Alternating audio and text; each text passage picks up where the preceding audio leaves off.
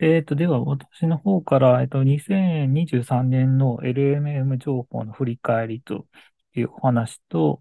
で、えっと、今年1月版のですね、LMM 情報のアップデートのお話をさせていただければと思います。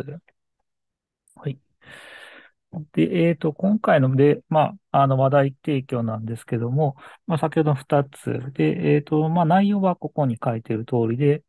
えっと、まず、ま、振り返りとして、えっと、ま、LLM の概要ということで、えっと、主にはですね、まあ、オープン AI 社が提供しているチャット GPT のお話、と、関連する、えー LMM のお話をさせていただければと思います。あと、で、ま、タイムラインに沿って2023年どんなことがあったかっていうのを振り返りさせていただいて、で、現現在のですね、まあ、最新モデルどういうのが使えるかというのをですね、えっと、まあ、前半でお話ししたいと思います。で、後半で、えっと、アップデートとして、えっと、GPTs のストアが出ましたので、えっと、それについてお話しするのと、で、えっと、あとですね、まあ、こん、まあ、時々話してるんですけども、LLM 以外にもですね、生成 AI がいろいろありますので、まあ、今後はそれも取り上げながら紹介できればと思いますので、まあ、今回は画像系ちょっと取り上げて紹介できればと思います。えーでは、まず上の方をですね、喋りたいと思います。で、まあ、ちょっとイントロダクション、ちょっと振り返りなんですけど、まあ、 ChatGPT、GPT とはということで、まあ、この Chat Generative Pre-trained Transformer、の略で GPT。え日本語訳は、まあ、事前学習済み変換器ということで、え略して GPT とかですね、えーと呼ばれています。で、えっと、当初、まあ、2年の11月にオープン A 社が公開した、まあ、チャットボットのことを、まあ、チャット GTP というように呼んでいます。で、えっと、これ、まあ、チャット機能を持つ、まあ、LM モデルですね。えっと、これをチャット GPT と呼んでるんですけども、まあ、単にですね、GPT というと、まあ、モデル自体であったりとかですね。まあ、あるいは、まあ、他の機能も指す、場合があります。で、えっと、現在の最新版は GPT の方っていうのが3月の14日に、えー公開されまして、えっと、それが最新版になっております。で、えっと、右側に、まあ、メインの24って書いてますが、ちょっとこれ古いモデルですね。で、でえっと、で、まあ、GPT-4 のですね、まあ、性能がいいということで、まあ、GTP4 と、えーまあ、それを強調して、えー呼ぶという傾向がああります。で、この、まあ、えっと、GPT-4 のモデルは、まあ、大規模言語モデルと呼ばれる、まあ、LMM ですね、のモデルの一つですと。で、これは、まあ、大量にテキストを、まあ、学習した、まあ、AI のモデルで、まあ、テキストの生成過程で、まあ、次に来るですね、単語をですね、まあ、高確率で予測できると、まあ、予測モデル、機械学習の予測モデルであると。で、えー結果としてですね、まあ、まあ、この予測精度がいいということで、まあ、人間がですね、まあ、自然に感じるような文章が生成できる、モデルであるということですね。で、これの登場によって、まあ、何が変わりつつあるかというところなんですけども、まあ、まあ、コンピューターの言語も実際は、まあ、一つの言語ですし、まあ、我々が喋っている、えっと、自然言語も一つの言語ということで、まあ、これのですね、まあ、境界線がかなり、あの、なくなってきたというのが一つかなと思いますし、えーコンピューターにコンピューター言語で、えっと、命令してたのが、まあ、もしかして、まあ、まあかなり近づいてる、ているとは思いますが、まあ、自然言語で、えっと、機械に命令ができたりとかですね、あの、計算が実行できたりというような、まあ、自然言語がプロンプトとして AI や計算機に命令できるようになった、なってきているというのが一番変わったとこかなと思います。で、えっと、2023年、じゃあ何があったかというところを少し、えっと、振り返りさせていただければと思います。で、えっと、2022年ですね。ちょうど2年前に、えっと、GTB の3.5というのがリリースされています。で、えー、大体、まあ、リリース11月頃と言われてるんですけど、まあ、その前からですね、まあ、その3とかですね、えっと、ええその前に、まあ、すでにリリースされているという形になります。で、私はこの時は GPT についてあまり、まあ、全く知らなくて、で、その後、実際知ったのは3月に、えっと、GPT-4 が公開ということで、えっと、そこで、えっと、初めてですね、えっと、知ることになりました。で、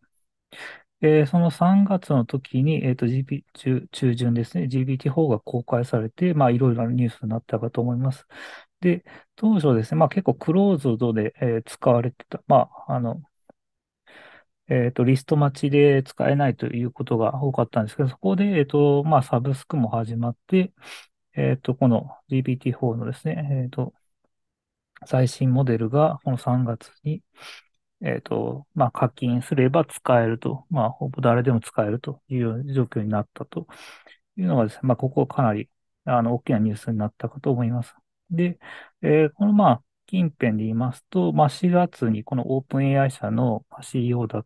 である、まあ、サム・アルトマン氏がここで、えっと、4月頃日本に来日がありましたし、えっと、6月になりますと、まあ、スマホのアプリとかですね、えっと、GTP のプラグインといって、まあ、他のデータベースとか、あの、他の Web の API と、この、えっと、まあ、LM をつないで、えっと、まあ、あの、処理できるみたいな機能も追加されてきたのは、だいたい6月頃ですね。で、この時に、まあ、GPT-4 に、まあ、4の、まあ、API っていうのも少しずつ一般開放されて、えっと、開発で使えるようになってきたというのがこのあたりだったかと思います。で、ちょうどまあ3月から6月ってかなりまあ LNM に関して、まあ楽観論と悲観論がかなり入り混じってた頃かなというふうに今はあ想像しますが、まあ今はもうちょっと飽きてきてあまりもう何もない、皆さん言わなくなってきたような感じかなという気がしますけども。で、この後にちょうど7月ぐらいですかね、日本ですと、まあ東大で生成 AI の AI のシンポジウムが大々的に行われたりとかですね。えー機能としては7月になると、まあ、まあ、当初コードインタープリターと言われてた、まあ、まあ、LLM のモデルで、えっと、コード、まあ、プログラミングのコードを書くような、あの、機能と、まあ、かつ、その、まあ、その、LLM 実行しながらコードが実際に作られて、そのコードが実行できるというようなあのプラットフォームを公開されて使えるようになってきたっていうのが1月頃だったかと思います。で、ちょうどこの頃に、えっと、まあ、メタ社が、まあ、別の LMM、ラマ2というのを公開して、えっと、これが、まあ、オープンソース版になりますので、で、これを使って、えっと、この8月頃とかですね、えっと、まあ、東大のベンチャーののライザーとかで、えっと、ラマ2をつく、をベースにした日本語モデルとかですね。ここら辺で日本語のモデルというのも、まあ、夏ぐらいからあの活発的に、えっと、こう、開発とかですね、後輩が、えっと、行われてきた頃かなと。で、大体もうこのあたりからすごいもう毎月のように新しいアップデートがあってすごい目まぐるしかったかなと思うんですけども、9月には、まあ、GPT-4 のビジョンっていう画像認識の機能がついた、あまあ、LMA の機能が公開されたりとかですね。で、11月頃になりますと、まあ、その、まあ、よりですね、あの、新しい知識を持った GPT-4 のターボ公開されたり、で、今回も後半で話します GPTs という機能が新たに実際実装されて、まあ、チャットボットも作れる。まあ、簡単にすごい LMM ベースで、チャットボットが作れるというような形で、まあ、何かしらもう毎月何かしらのアップデートがあるといったような2023年だったかなと思います。で、えっと、まあ、個人的にはまあ9月に、えっと、えっと、鶴崎さんと、まあ、DBCLS の太田さんが共催した IIBMP2023 での、まあ、2例目の、あの、まあ、ワークショップがありまして、そこでまあ話す機会もありましたし、非常にまあこのあたりは充実していたかなと思います。で、11月の頭だったと思うんですけども、初めてのまあ開発者会議っていうのはサンフランシスコだった。というのがまあ大体のまあ2023年のタイムラインだったかと思います。で、えっと、現在ですね、このオープン AI 社が提供、オープン AI 社が提供している、まあ、代表的なモデルっていうのは、まあ、さっきあの、ホームページで調べてきたんですけども、まあ、いくつかありまして、まあ、代表的には今7つありまして、えっと、こちら側ですね、API としとして実装されてて、まあ、Web API で使えるという形です。で、上からですね、えっと、GPT の3.5のモデル、こちらターボで、えっと、3.5、従来の3.5よりか長いトークンが扱えるものですね。で、あと、その GPT-4 の、まあ、先ほどずっと説明しているこの、えっと、GPT-4 のモデルと、まあ、新しい最新型の、えー、モデルですね。あと、それ以外にもですね、あの、エンベディングのモデルとかですね、えっ、ー、と、まあ、画像生成の DALI3 と。えっ、ー、と、これはまあ、非常に最近 API 公開されてるんですけど、まあ、DALI3 の、えっ、ー、と、API でしたり、あとはまあ、文字犬と、まあ、音声の生成変換に関するモデルですね。えっ、と、こういうのが、え文字音声生成と、まあ、音声を文字に変換するという、えっ、と、API も公開されているという形ですね。で、これが今ですね、まあ、大体、今の最新で使えるモデルという形になっています。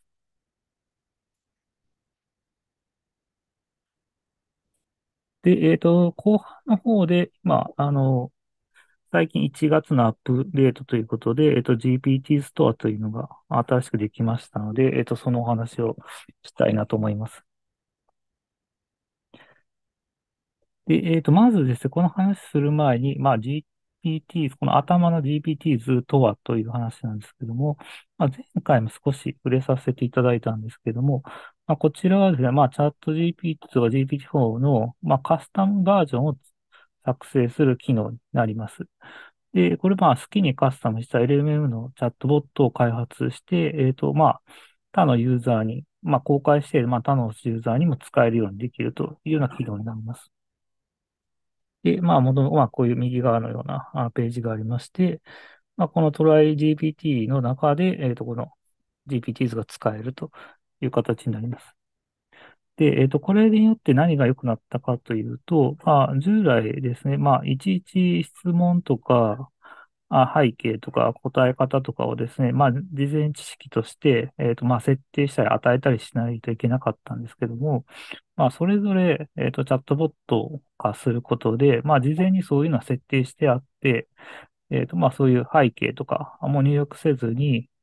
まあ、非常に短いプロンプトで、えっ、と、まあ、指定の出力が出るようなイメージですね。そういうのがより最適化されてきているという形になります。で、これはまあ、ユーザー好き好きに作ってて、えっ、ー、と、さっきちらっとページ見た、見たときに、まあ、なんか300万個ぐらいもできている。こういうボットが、このストア、あの、もうかい、えっ、ー、と、2ヶ月ぐらいですかね、あの、公開されて2ヶ月ぐらいで、えっ、ー、と、300万個ぐらい、えっ、ー、と、こういうボットが、あの、内部で作られているという感じです。3M って書いてあるので300万ぐらいです。はい。で、これがですね、GPT、えという、まあ、これはストアになるんですけども、ちょっと、で、えー、すみません。えっ、ー、と、これ GPT スト、次ストアなんですけども、さっき作ったカスタムの LML のチャットボットですね。えっ、ー、と、これも公開できる場所という形になります。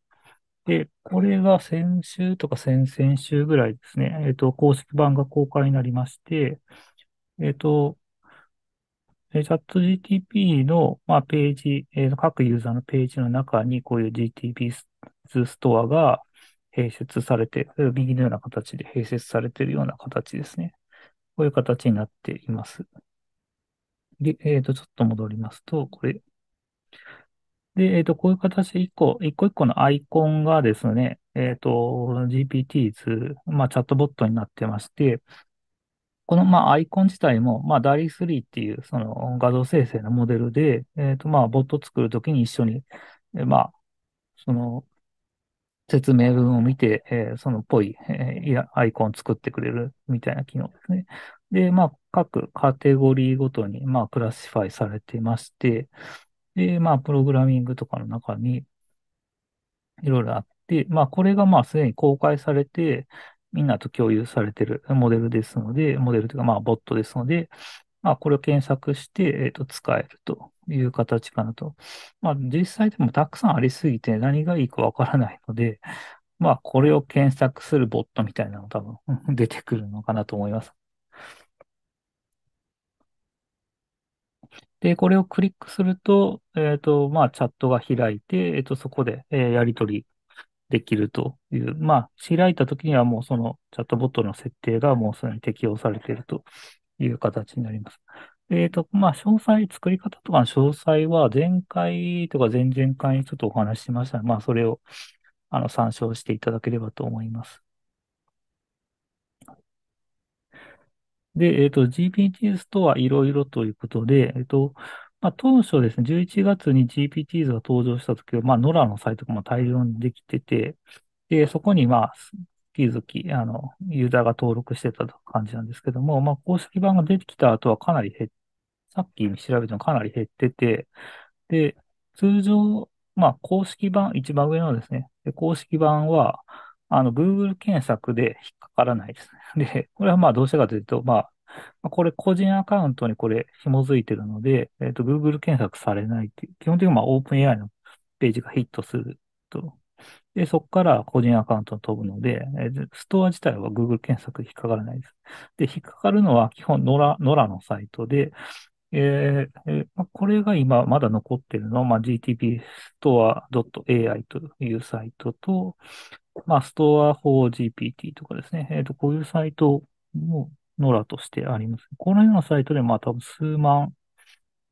ぐらいは登録、以前見たときは数万ぐらいですね。えっと、GPTs が登録されていましたので、えっと、まあ、数万もあればかなり使えるようなものも見つかるというイメージです。はい。で、えっと、このあたりか。で、えっと、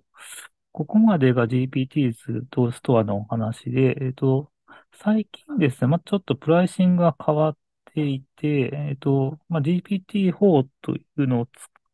まあ、この、先ほど何回かお話しさせ、何度もお話しさせていただくモデルを使うには、現状は、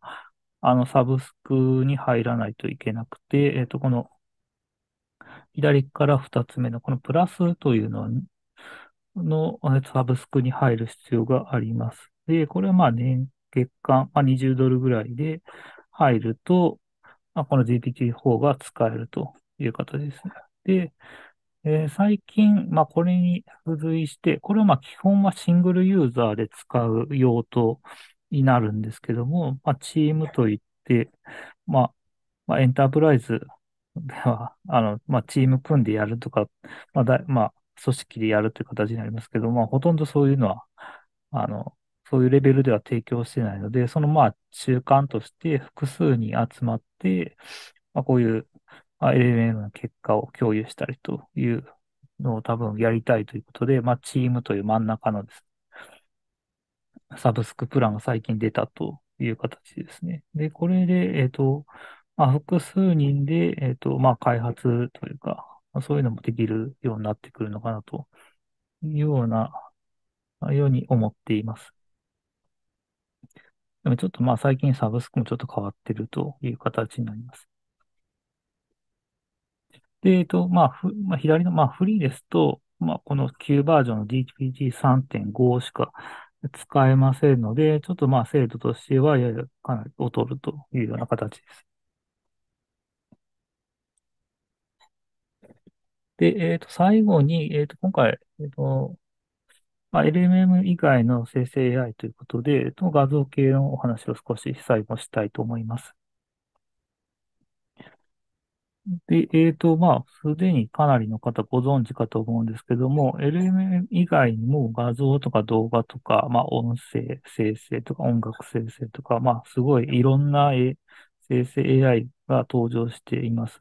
まあ、結局入力変えると、まあ、中のディープラーニングのところはほぼ同じなので、ほぼ同じというか、まあ、もうすでにいろんな開発がされているので、まあ、入力と出力変えると、まあ、いろんなことができるというようなことなのかなと思いますし、えっと、画像生成と、まあ、一口に言っても、まあ、こう、いくつか亜種というか、いろんな種類が内部にはありまして、まあ、テキストトゥイメージ、まあ、テキストから画像を訂正するという、まあ、よくあるやつから、まあ、イメージというイメージですね。あの、画像から、あの、別の画像を使う、作ったり、あの、画像をもとに、まあ、バリエーション変えたりとか、編集したりとか、まあ、一時期流行ったのだと、まあ、超解像の画像を、まあ、まあ、なんですかね。まあ、超解像で、えっと、まあ、綺麗画像のレゾリューションを上げるみたいな。まあ、そういういろんなモデルがありますので、まあ、画像生成って、まあ、たくさんあるという形になります。で、今回、まあ、今回ですね、えっと、まあ、画像生成系の AI ということで、まあ、代表的なやつをご紹介できればと思います。で、基本、まあ、Web API があるようなツールを今回、えっと、あの選んで、ちょっと2個ほどですね、紹介させていただければと思います。で、えっと、まず一つ目が、えっと、今日少し触れましたが、DALI2 と DALI3 というモデルが画像生成系だとあります。で、これはまあ、あの、オープン AI 社が提供している、うまあ、最、まあ、生成、画像生成のモデルになります。で、えっと、旧バージョンが、えっと、DALI2 と呼ばれるもので、まあ、これ本当にまあ、一般的な画像生成のモデル構成になってまして、まあ、画像の生成と編集とかですね。あと、まあ、バリエーション。まあ、一つの画像入力に、まあ、複数、まあ、ちょっと似たような画像を作れるというような機能になってます。で、あと、DALI3 の方がですね、まあ、これはまあ、画像、テキストというイメージの機能と、まあ、まあ、他の画像生成、これ以外はあまりできないんですけども、もう LMM と、まあ、連携させて、えっと、機能拡張しているような、えーちょっとまあ、あの、ちょっとあの考え方が違うようなモデルになっています。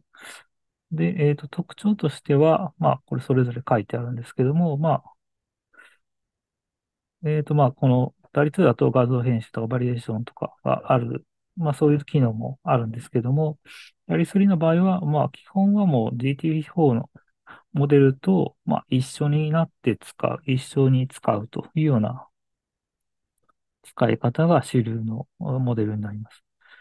ですので、まあ、より複雑なですね、プロンプトの対応であったり、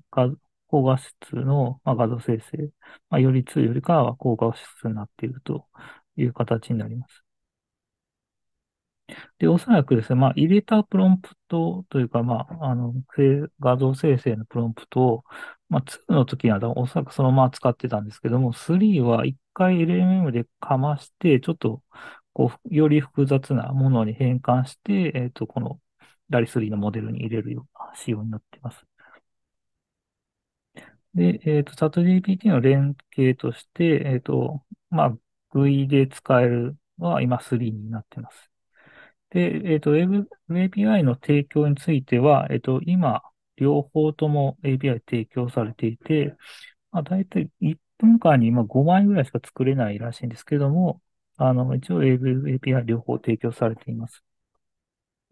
で、えっと、これら2つのモデルは、まあ、総数は非公開になっているという形です。で、それで、まあ、この API で使うか、チャット GPT の機能として DALI3 を使うかという形になります。で、えっと、この API の、このこれらの画像生成系の Web API の使い方っていうのは、この OpenAI 社が提供している API レファレンスの中に、えっと書いてて、えっとここを叩いてこういう引数をあの JSON で入れてね、みたいなことを書いてますので、まあ基本的にはまあそれにの、それに乗っかって設定するという形になります。で、えっと、最近まで、えっと、2し、ダリ2しかこれなかったんですけども、最近このダリ3のこう説明も一緒に加わってて、まあちょっとそのドキュメントが結構読みにくくなってるので、2でできることと3でできることが若干違うので、あの、ちょっとドキュメントが複雑になってます。で、えっと、これ、まあ、この、この公式バンドとカールでやってくださいねっていうように書いています。カールドで実行してくださいねという形になってるんですけども、まあ、まあ、Python 版は公式の、えっと、ライブラリがありまして、OpenAI っていうライブラリを、まあ、インストールすれば、まあ、これ Python でできるというのもありますし、R 版は、のパッケージも、えっと、多数ありますので、えっと、もうおそらく対応してると思いますので、まあ、これ、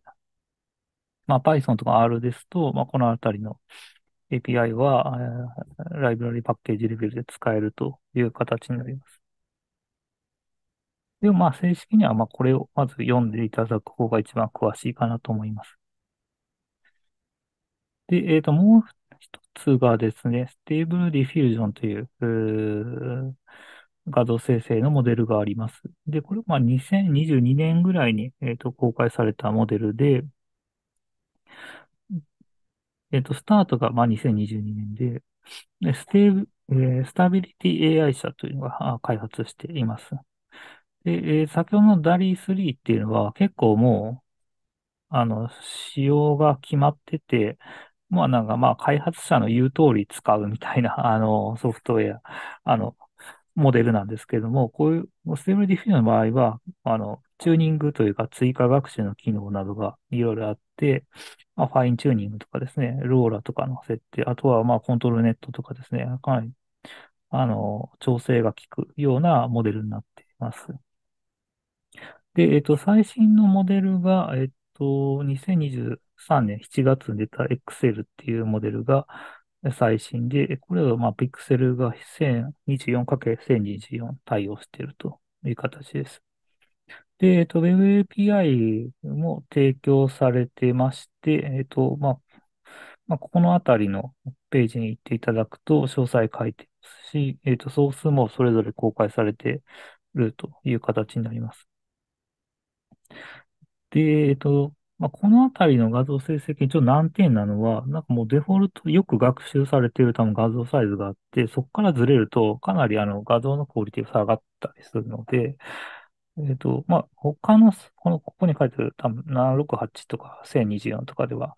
以外のサイズも一応出力はできないことはないんですけども、変えるとかなりガクッとクオリティ下がるっていうのは、ちょっとそのあたり。問題、まあ難点ではあるんですけども、まあ追加学習とか、まあいろいろできるというのがメリットです。で、これが、えっと、ステービリティ AI 社が提供している、まあ、ドリームスタジオという、あの、環境がありまして、えっと、ここで左のですね、えっと、まあ、プロンプトを入れたりとか、あとスタイル決めたりとか、あとネガティブプロンプトとか決めて、えっと、画像サイズ入れて実行すると、まあ、こういう形で画像生成がされると。まあ、UI が提供されています。で、えっと、基本的にまあ、これも、えっと、まあ、ちょっと、な、何画像いくらみたいな形で、まあ、課金制なんですけども、なんかあの、まあ、1000円、10ドル課金したら1000枚ぐらい作れる、作れるようなイメージなんですけど、まあ、1枚1円ぐらい、1円ぐらいか2円ぐらいで、えっと、生成できる感じですね。で、ここでですね、この設定のところで、えっと、API キーを作ると。これはまあ、ここでアカウント作っていただいて、まあ、API キーを作っていただくと、まあ、この API キーを、で、Web API が使えるという形になります。で、えっと、ここの、まあ、右上にクレジットがあるんですけど、まあ、クレジットはここで使う、この UI で使うクレジットと API ので使うクレジットってのは共有されてて、まあ、どちらでも使えるという形です。で、えっと、こちらもですね、公式版のガイドがありまして、えっと、この API のリファレンスガイドのところを、まあ、読んでいただくのが、えっと、詳しいですね。この中に、あの、テキストトゥイメージとか、イメージトゥイメージとかですね、アップスケールとか、まあ、これが、あの、リゾリューション上げるやつですね。まあ、こういうのとの、それぞれの、あの、ゆあの、ここにアクセスして、こういう引数入れてねっていうのが書いてありますので、えっと、こういうのを参照にしにして、えっと、作っていただければと思います。で、えっと、私もこれ、えっと、まあ、R 版がなかったので、R 版一応今作ってるとこなんですけど、まだちゃんとは開発してない、あの、開、完了はしてないんですけど、一応、まだ動くかなと思うんですけども、こういうステーブルディフュージョン 4R ということで、えっと、この API、Web API 使える R のパッケージっていうのを作っております。ので、えっと、この、まあ、コードを見ていただいたら、まあ、こういう形で書くんだな、みたいなのが、少しは、あの、えっと、まあ、イイメージしていただけるかなと思いますが、あの、ダリー3と、まあ、ダリーのその開発理念が結構違うので、結構かなりパラメータが多くて、まあ、なかなかまあ、初心者向きではない、あの、モデルにはなるんですけども、やっぱダ、ダリ2とかダリ3とかの方が、あパラメータが少ないので、扱いやすくて、ちょっとまあ、こっちはまあ、ちょっと専門家向けみたいな感じのモデルになります。で、えっと、公式版のこのモデルも、えっと、この GitHub で公開されてて、えっと、この CompVis の Stable Diffusion っていうところにあったり、あとはまあ、 Hugging Face にも一応公開されてるみたいなんですけども、そのあたりで、えっと、ソースが見えるようです。で、えっと、一応、まあ、内容は以上となりまして、一応、今回ですね、えっと、2023年の振り返りというのと、最近のアップデートですね、お話しさせていただいて、最後、まあ、二つほどですね、画像生成のモデルと、まあ、ちょっと簡単な、ここを見てくださいみたいなお話をちょっとさせていただきました。